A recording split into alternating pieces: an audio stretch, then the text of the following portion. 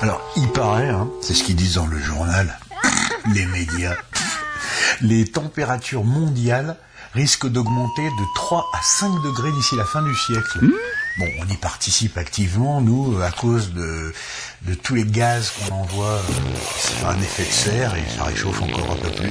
Pff, ouais, le réchauffement climatique, il paraît que c'est une invention chinoise. L'écologie, c'est un truc de bobo, euh, c'est bon. 3 à 5 degrés quand même. hein. Bah, on, mettra des clims et des t-shirts. À foutre.